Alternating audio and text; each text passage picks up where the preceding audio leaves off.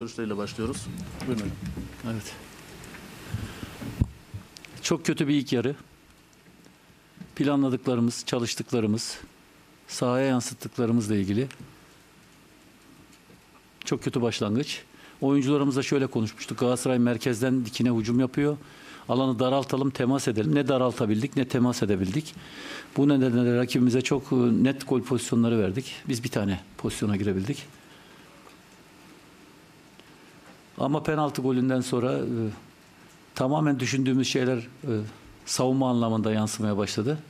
10 kişiyle çok iyi savunma yaptık. Duran toplarda eksik oyuncularımızın kısa oyuncularımız olmasına rağmen bütün toplara biz vurduk.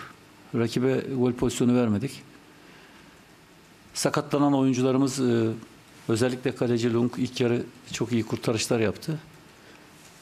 Hamle gücümüzü de zayıflattı. Ama futbol bu. E, Şimdi aldığımız puan, burada aldığımız puan oyuncularımızı bir adım öne itecektir.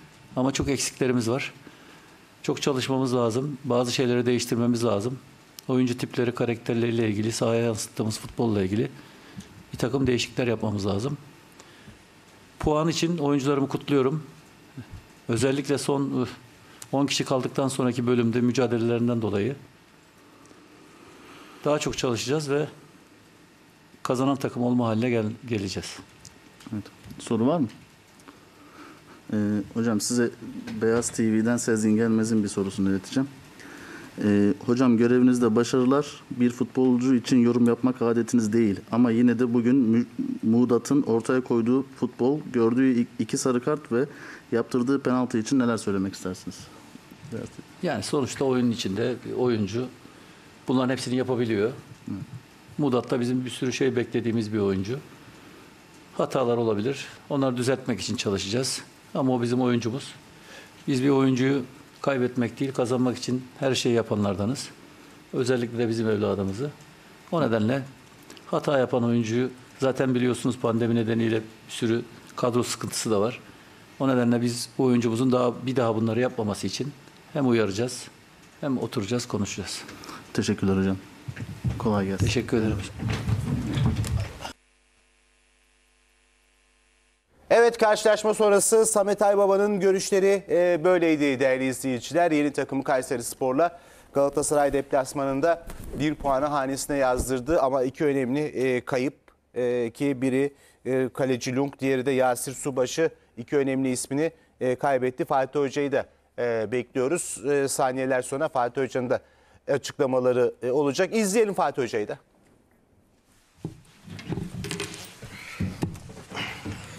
Merhaba, hoş geldiniz. Ajans muhabirlerimizin soruları varsa onlarla başlayalım.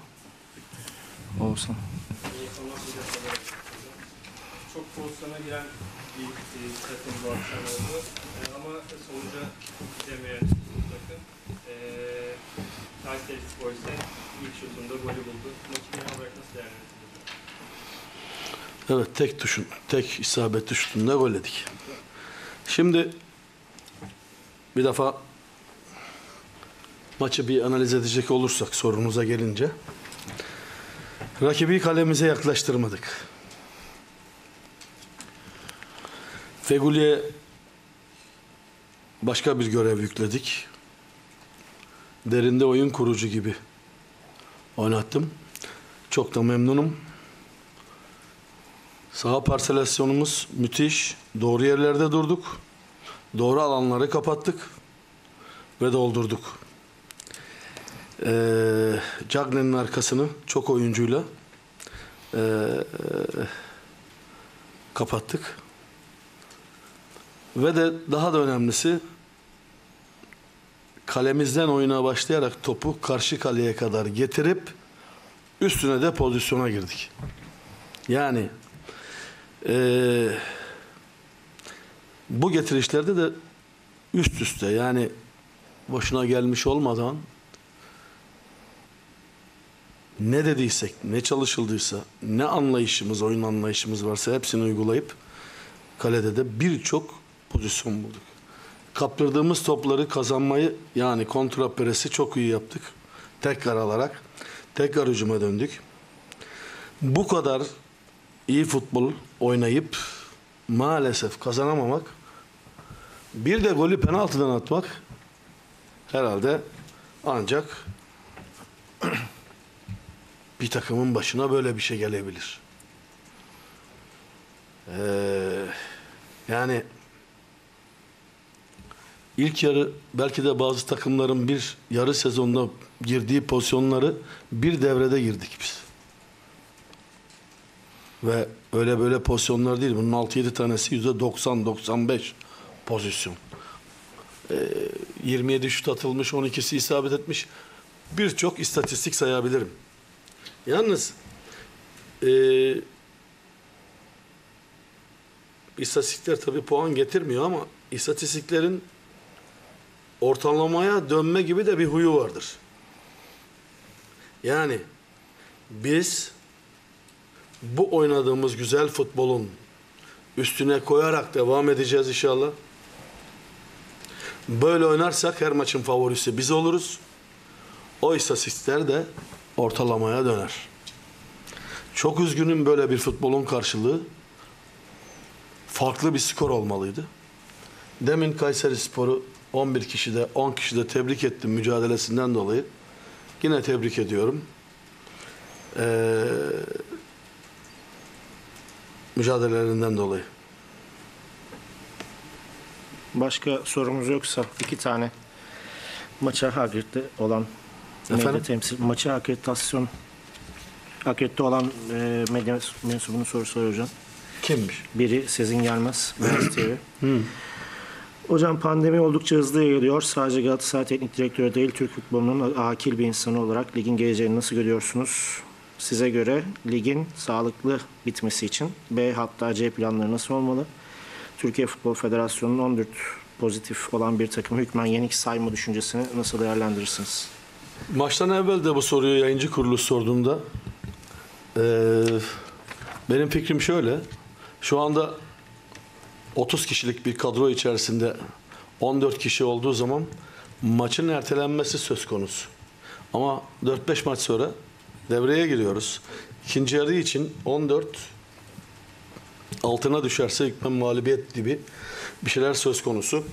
Burada şunu bir daha tekrar ediyorum. Sezon sonu Avrupa Şampiyonası olması lokal federasyonların maçlarını belirli bir saatte, belirli bir sürede bitirmesi demektir. Şimdi 42 maç oynuyoruz. Tabii 40 maç oynuyoruz da 2 haftada baylar olduğu için birinci devre, ikinci devre 42 haftamız var. Dolayısıyla Futbol Federasyonu'nun ve futbol aleminin de fazla vakti yok. Böyle düşündüğümüzde doğal olarak işin devamını isteyecektir Futbol Federasyonu. Ancak tabi bu nalet hastalığın nasıl devam edeceğini, ne olacağını da bilemiyoruz. Eğer ülkemizde toplu bir eylem olduğu zaman ne olacağını soruyorsunuz. Futbol Federasyonu'nun burada bana göre daha evvel yani sezon başında alması gereken bir karar vardı. O da futbolun kesintiye uğraması ihtimaline karşı eğer böyle bir şey olursa ben bu ligi devam ettirmem. Böyle bir şey olursa ben bu ligi bu sıralamayla kabul ederim.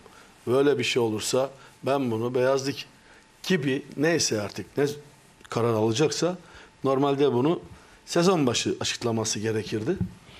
Ama açıklamadığına göre en geç devre arası tekrar açıklar mı açıklamaz mı bilmiyorum ama bunun da kararı verilmesi lazım ki yarın bir gün herhangi bir şey olabilir mi? Olabilir. Nitekim ikinci dalga kötü gidiyor. Herkes aşağı yukarı etrafımızdaki hastalanıyor. Allah korusun herkesi. İşte Galatasaray takımı 9 oyuncusu yok. Bunun 4-5 tanesi milli takımlardan korona. Deplasmanlar herkes için geçerli ve tehlikeli dikkat edilmesi gerekiyor. Böyle baktığımızda esas sorulan ana noktada hükmen muhalibiyetti. Eğer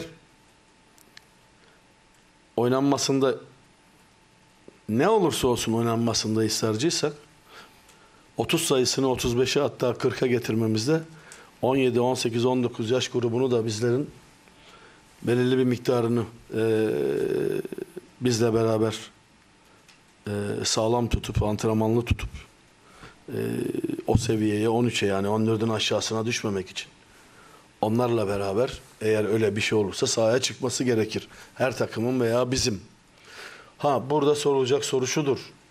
Ya onlarla çıkılırsa peki bu Türkiye Ligi'nde kaliteyi bulabilir miyiz? Aynı kalitede olabilir mi?